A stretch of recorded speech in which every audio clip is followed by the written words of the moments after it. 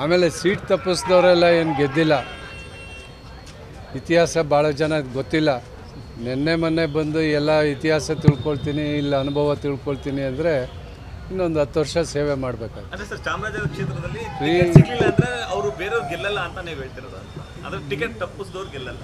ಯಾರಾದರೂ ಗೆಲ್ಲೋರು ನಿಲ್ಲಿಸ್ರಿ ಬೇಕಾದ್ರೆ ನಾನೇ ಸಪೋರ್ಟ್ ಮಾಡ್ತೀನಿ.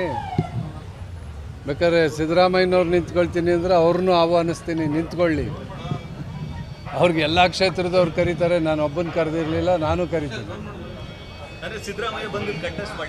ಮಾಡ್ಲಿ ಸಂತೋಷ ನಮ್ಮ ಪಾರ್ಟಿಗೆ ಗೆಲ್ಲಿ. ನಮ್ಮ ಪಾರ್ಟಿಗೆ ಗೆಲ್ಲಬೇಕಲ್ಲ ಸರ್ಕಾರ ಬರಬೇಕಲ್ಲ. ಸರ್ಕಾರ ಬಂದಾಗ ತಾನೇ ಎಲ್ಲ ಚೇರ್ಮನ್ನು ಅವು ಇವು ಆಗಿರೋದು. ಪಕ್ಷದ ತೀರ್ಮಾನ ಅಂತಿಮ. ನಾನು ಹೇಳಿದ್ನಲ್ಲ ಎರಡು ಸಾವಿರದ ನಾಲ್ಕನೇ ಇಸ್ವಿಲೇ ಇದಾಗಿದೆ. ಇದೇನು ಮೊದಲಲ್ಲ. ಆಮೇಲೆ ಇದಕ್ಕೆಲ್ಲ ಹೆದರ್ಕೊಂಡು ಓಡೋದು ಇಲ್ಲ. ಆಮೇಲೆ ಭಾಳ ಜನ ಬಂದು ಹೋಗಿದ್ದಾರೆ. ಭಾಳ ಜನ ವಾಪಸ್ ಬರ್ತಾ ಇದ್ದಾರೆ. ಅದೇ ಎರಡೂ ನೋಡಿದ್ದೀನಿ. ಅವ್ರ ಬಗ್ಗೆ ನಾನು ಮಾತಾಡೋ ಹಕ್ಕೇ ಇಲ್ಲ. ನನ್ನ ಮಗನಾಗಿ ಮಾತಾಡ್ಬೋದೇ ಹೊರ್ತು ಬೇರೆ ಪಕ್ಷದ ವಿಷಯ ನಾನು ಹೆಂಗೆ ಮಾತಾಡಲಿ? ನಾನು ಯಾವತ್ತಾದರೂ ಬೇರೆ ಪಕ್ಷದ ಬಗ್ಗೆ ಟೀಕೆ ಮಾಡಿದ್ದೀನಿ?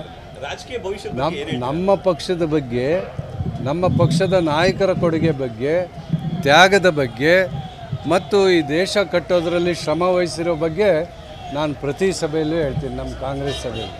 ಈಗ ಇವತ್ತಿನ ಸರ್ಕಾರದಲ್ಲಿ ಬಿ ಜೆ ಪಿ ಸರ್ಕಾರದ ಕ್ಯಾಬಿನೆಟ್ಲಿ ಎಷ್ಟು ಜನ ಮಂತ್ರಿಗಳು ಕಾಂಗ್ರೆಸ್ನವರಿದ್ದಾರೆ? ಅವ್ರೇನು ಬಿ ಜೆ ಪಿಯಿಂದ ಬಂದ್ರ? ಕಾಂಗ್ರೆಸ್ಸಿಂದನೇ ಹೋಗಿದ್ದು ಇಲ್ಲಿ ಅನುಭವ ತೆಗೆದುಕೊಂಡು ಹೋಗಿ ಅಲ್ಲಿ ಕೆಲಸ ಮಾಡ್ತಾ ಇದ್ದಾರೆ.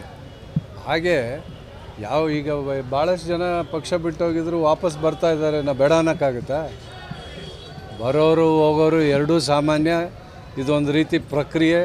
ಬಿಸಿಲು ಬಂದಾಗ ಏನೇನೋ ಆಗ್ತದೆ ಮಳೆ ಬಂದಾಗ ಇನ್ನೇನೋ ಆಗುತ್ತೆ ಅಷ್ಟೇ.